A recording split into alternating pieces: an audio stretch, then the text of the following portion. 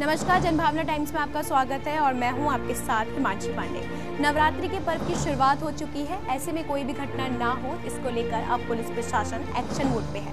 इसी के चलते उत्तर प्रदेश में गौतम बुद्ध नगर की पुलिस ने 15 अक्टूबर से 31 अक्टूबर तक ज़िले में धारा 144 लागू कर दी है। इस दौरान बिना पुलिस की अनुमति के कोई भी सभा और कार्यक्रम करने की मनाही होगी। जुलूस निकालने से पहले पुलिस की इजाज़त लेनी ज़रूरी होगी। नवरात्रि के दौरान जारी आदेश के मुताबिक पुलिस की अनुमति लिए बिना सार्वजनिक स्थान पर नमाज़, पूजा या किसी अन्य धार्मिक गतिविधियाँ नहीं की जा सकेंगी। पुलिस विभाग के मुताबिक 15 अक्टूबर यानी कि आज से नवरात्रि शुरू हो गई है। इसके अलावा 23 अक्टूबर को महाराजा अग्रसेन जयंती 24 अक्टूबर को दशहरा और 28 अक्टूबर को महर्षि वाल्मीकि जयंती है, जबकि इकतीस अक्टूबर को सरदार वल्लभ भाई पटेल और आचार्य नरेंद्र देव की जयंती है। उनका कहना है कि इसके अतिरिक्त गौतम बुद्ध नगर में सरकार विभिन्न आयोग और परिषदों आदि द्वारा समय समय पर विभिन्न परीक्षाएँ आयोजित की जाती है, जिसकी सूचना नियत तिथि से थोड़ी पहले ही दी जाती है, जबकि धरना प्रदर्शन आदि विभिन्न कार्यक्रमों की अक्सर होते रहते हैं। इसी के मद्देनजर असामाजिक तत्वों द्वारा शांति भंग करने की संभावना से इनकार नहीं किया जा सकता,